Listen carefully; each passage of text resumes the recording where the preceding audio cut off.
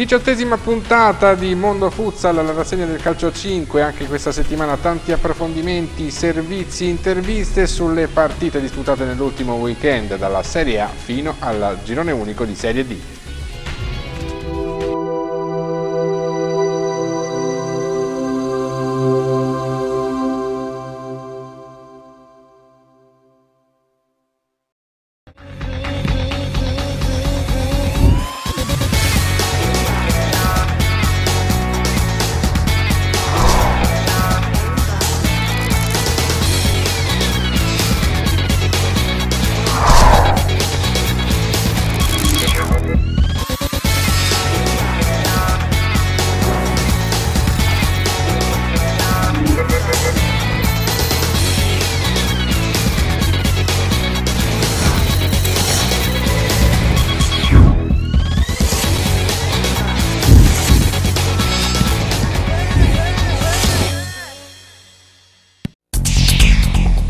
Iniziamo ovviamente dalla Serie A e dal ritorno al successo per l'Axat Group Latina 4-2 sulla Lazio in un Palabianchini entusiasta. La compagine di mister Basile ha sofferto contro un avversario apparso fortemente motivato e con un Paceco in stato di grazia, ma la volontà dei nerazzurri di aggiudicarsi tre punti fondamentali in chiave playoff ha fatto la differenza. Decisiva la doppietta di un sontuoso Avellino oltre alla forza del collettivo pontino. Ora l'appuntamento è per la Final 8 di Coppa Italia in programma da giovedì a Pescara. Il Latina avrà un compito improbo proprio contro i padroni di casa del Pescara, campioni d'Italia in carica. Ma vediamo la classifica, comandano gli stessi abruzzesi insieme all'Asti, a quota 33 c'è il Real Rieti, l'Acqua e Sapone è a 31, Montesilvano 26, Latina è a 25, precede di una lunghezza il Caos Futsal, la Carli Sport Cogianco è a 23, la Luparenze a 21, Corigliano e Lollo Caffè Napoli a 13, Lazio 12 punti, naturalmente fuori classifica Cosenza. Ma riviviamo le emozioni della sfida del Palabianchini col successo dei nerazzurri sulla Lazio e il servizio di Davide Mancini ed Emanuele Barzi.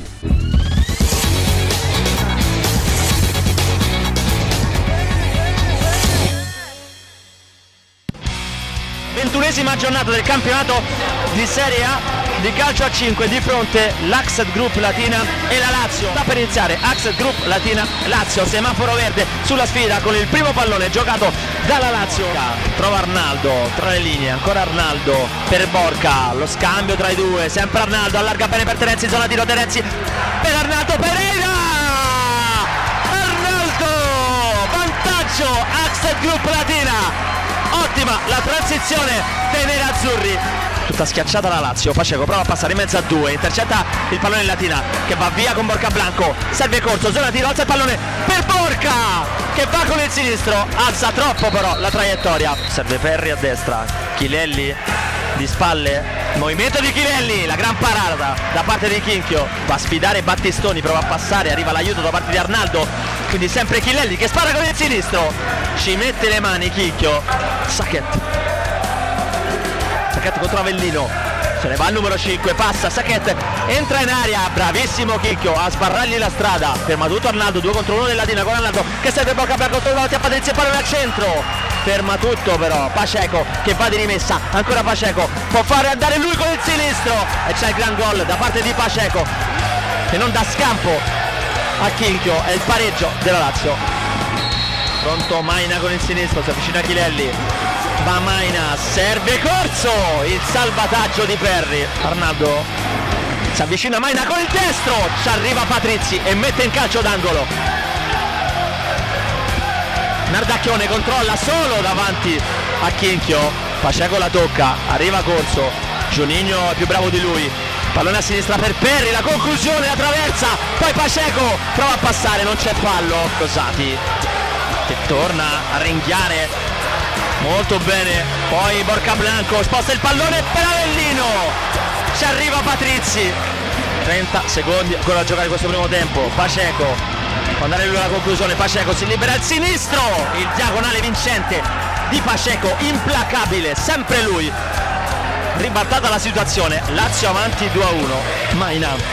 Le spalle alla porta. Si gira Maina. La chance apre troppo il piatto con il sinistro. Non c'è fallo. Occhio alla Lazio in contropiede. 3 contro 2 Paceco solito movimento. Poi per Chilelli che col sinistro non trova la porta, si accentra, ancora Borca Blanco, sceglie la soluzione Avellino che può calciare. Con la punta del piede, Patrizzi ci arriva, gli dice di no, il pallone è riconquistato proprio da Avellino, ancora Avellino, va con il destro, pallone al lato di un soffio, pallone percorso con il sinistro, la portata di corso per il 2 a 2 quindi Borca Blanco con il destro il piazzato. Ci arriva Patrizzi attacca il Latina ricerca gol del 3 a 2 alza il pallone per Avellino che va con il destro ancora Avellino! Ribadisce in rete per il vantaggio dell'Axel Group. Avellino riporta avanti il Latina. Giro palla Latina però sistemato deve difendersi Paceco con il sinistro la fiammata ancora Roca gli sdratica il pallone corso il miracolo di Patrizzi. Latina adesso va con Maina, in contropiede c'è Borca Blanco di a fianco, con Borca Blanco dentro per Maina, l'erroraccio di Borca Blanco, sta di Paceco, prova a passare, viene fermato, va a terra, va Avellino con il destro, il poker di Avellino per il 4 a 2 dell'Axel Group che a 1.13 dal termine mette una seria ipoteca sul successo, qui la sfida del Palabianchini l'Axet Club Latina batte 4 a 2 la Lazio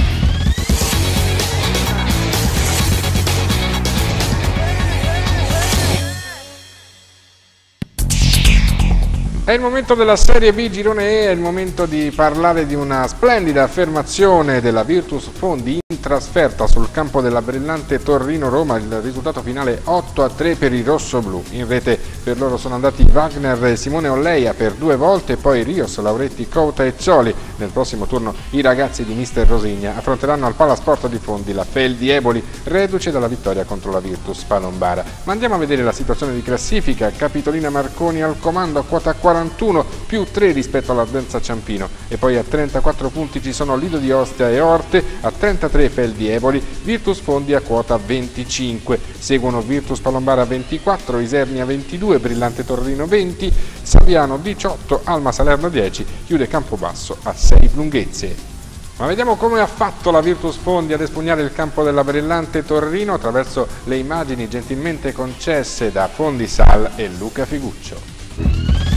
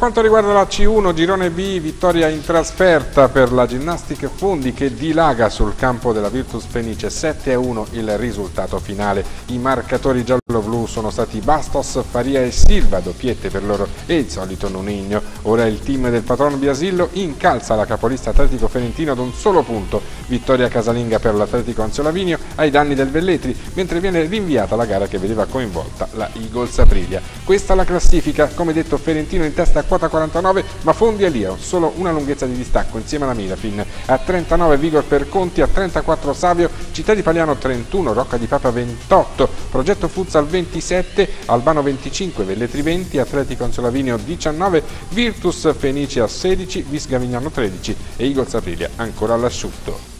Nel prossimo turno in programma una sorta di derby tra Ginnastic Studio Fondi e Atletico Anzio Lavinio e poi progetto Futsal Paliano, Velletri Eagles Aprilia, Savio Ferentino, Vigor Perconti Mirafin, Albano Virtus Fenice e Rocca di Papa Gavignano. È il momento della C2, ampia panoramica come al solito su questo campionato e sui vari raggruppamenti, iniziando dal girone B e dalla splendida affermazione della Vigor Cisterna sulla seconda della classe, il Città di Fiumicino, battuto 3-2 con la doppietta di Zacchino e la rete di Skripniuk. Nel prossimo turno i biancocelesti renderanno visita alla Virtus Ostia. La situazione di classifica in testa il Nord-Ovest calcio a 5 con 54 punti, lo Sporting Città di Fiumicino resta comunque in piazza d'onore a quota 43, il Pomezia, Fortitudo Isidoro Fuzzala a 40, Spinaceto 35, Vigor Cisterna 32 insieme a Torte Teste, Generazione Calcetto 29, Fiumicino 1926 a 28, La Pisana 27, Onei 23, Sporting Club Marconi 22, Eur Futsal 13, Virtus Ostia 12 punti, Roma Calcio a 5 a 6 lunghezze. Nel prossimo turno, come detto, la Vigor Cisterna farà visita alla Virtus Ostia. Le altre gare in programma Sporting Città di Fiumicino contro Fortitudo Promezia, Fiumicino 1926 Generazione Calcetto, Eur Futsal Onei, Nord-Ovest Pisana, Spinaceto Sporting Club Marconi e Roma Tortre Teste. Nel girone C di C2 sconfitta di misura per lo United Aprilia sul campo dello Sporting Palestrina, la compagine di Serpietri non ha superato la prova di maturità in esterna e a nulla sono valse le reti di Di Marco e Galieti. Nella prossima gara gli aprilani se la vedranno contro l'Atletico Marino. In classifica comanda il Città di Colleferro a quota 50, Virtus Aniene 47, Forte Colleferro 41, Real Ciampino 38, United Aprilia 36, Città di Ciampino 33 insieme alla History, 28 Pentapomezia, 20 Atletico Genzano, 16 Atletico Marino, Sporting Club Palestrina e Pavona Calcio a 5. La Virtus di Miramore è a 12 punti, l'Airone chiude a quota 7. Come detto lo United Aprilia ospiterà nel prossimo turno l'Atletico Marino, le altre gare in programma Città di Ciampino Forte Colleferro, Virtus Aniane Airone, Genzano Pavona, Istori Roma Real Ciampino, Pentapomezia Sporting Club Palestrina e Città di Colleferro, Virtus Divino Amore. Chiudiamo la carrellata sul campionato di C2 parlando del raggruppamento D e dalla vittoria del Minturno sul Ceccano, un 9-3 che consente alla formazione di Minturno di mantenere la vetta della classifica. Tengono testa l'FC Cisterna vittorioso sul campo del Real Posgora, la Visfondi Corsara Isola Liri e lo Sport Country Gaeta che ha regolato la Connect calcio a 5. Tre punti anche per la Fortitudo Terracina sulla Latri che non si è presentato al confronto per il DLF Formia ai danni del città di Minturno Marina e per lo Sporting Giovanni Risorse forze sul Real Terracina. In testa, come detto, in classifica c'è il Minturno a quota 43, Cisterna segue a una lunghezza, Visfondi 41, Sport Country Club a 38, Giovani Risorse 37, Real Podgora 32, DLF Formia 30, Futsal Cecano 28, Connect 27, Atletico Alatri 23, Città di Minturno Marina 18, Real Terracina 15, Fortitudo Terracina 13, chiude l'isola Liri a quota 4. Nel prossimo turno la Futsal Ceccano ospiterà il DLF Formia, la Connect sarà vedrà con la Fortitudo Terracina, il Real Terracina ospiterà il Fanagnone di Coda Isola Liri. E poi Atletico Alatrimi in turno, FIS Fondi Real Podgora, Cisterna Sport Country Club e Città di Minturno Marina Giovani di Sorse. E come di consueto terminiamo la nostra nuova puntata di Mondo Futsal parlando del girone unico di Serie D e di una partita che non si è disputata, vedeva impegnata la capolista Virtus Latina Scalo sul campo delle Forna Ponza, gara che non si è giocata. L'Atletico Sperlonga si aggiudica il big match con la Polisportiva Stella con risultato di 3 a 2, vince in trasferta lo Sporting Terracina sul terreno dei Monti Lepini e anche l'Accademia Sport fa sua la gara casalinga contro il Golfo Spinei. Pareggia lo United Latina in casa della città di Pontinia mentre vince nettamente il Real Fondi sul Fighty. Il Flora 92 batte 4-0 il Formia 1905 e il Maranola si impone sull'Atletico Rocca Massima. Per quanto riguarda la classifica, nonostante la gara non disputata, la Virtus Latina Scalo è saldamente in testa a quota 57, l'Atletico Sperlonga segue a 49, il Polisportiva Stella è a 45, lo Sporting Terracina a 36, Accademia Sport 34, United Latina 31, Real Fondi 30, Formia 1905 29, Monti Lepini 28, Flora 92 24 insieme al Golfo Spinei, il Fight a 21, il Città di Pontini a 20, il Maranola a 17, l'Atletico Roccamassima a 12, chiude le Fornamare a 10 punti. Il prossimo turno prevede la sfida al vertice tra la capolista Virtus Latina Scalo e l'Atletico Sperlonga. La Polisportiva Stella ospiterà il Città di Pontina e il Fighty se la vedrà in casa con il Flora 92. Le altre gare, Atletico Roccamassima alle Fornamare, Formia 1905 Marina Maranona, lo United Latina contro il Monti Lepini, l'Accademia Sport che se la vedrà in casa con Real Fondi e per finire il Golfo Spinei contro lo Sporting Terracina. Termina qui la diciottesima puntata di Mondo Futsal, dunque vi abbiamo eh, offerto un'ampia panoramica come di consueto su tutti i campionati, vi invitiamo a continuare a seguirci attraverso il sito mondofutsal.net e con le immagini di youtube.com slash mondofutsaltv. È veramente tutto, grazie a Marco Dell'Orco per la regia, grazie a quanti hanno contribuito alla realizzazione dei vari servizi e grazie a voi che ci seguite sempre numerosi. L'appuntamento è alla prossima puntata.